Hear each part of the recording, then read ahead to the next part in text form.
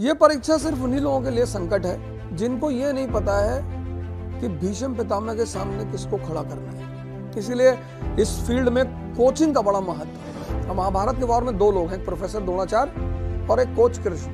तो हर स्टूडेंट को इस परीक्षा में भीष्म पितामह, द्रोणाचार्य, कर्ण का सामना करना पड़ता है। लेकिन वो जो कोच है आपका, वो बता देगा कि शिखंडी को सामने खड़ा करना इस परीक्षा में फिर सिर्फ़ व्यक्ति पहला काम, जहाँ पे बेसिक फॉल्ट लोग करते हैं वो है एनसीआरटी इकोनॉमी हमारे देश में ह्यूमैनिटीज 90 परसेंट लोग टेंथ में छोड़ चुके होते हैं। तो उन्हें पता ही नहीं होता कि ह्यूमैनिटीज का इंपॉर्टेंस क्या है। बिना ज्योग्राफी को समझे, आप इकोनॉमी को प्रमोट नहीं कर सकते।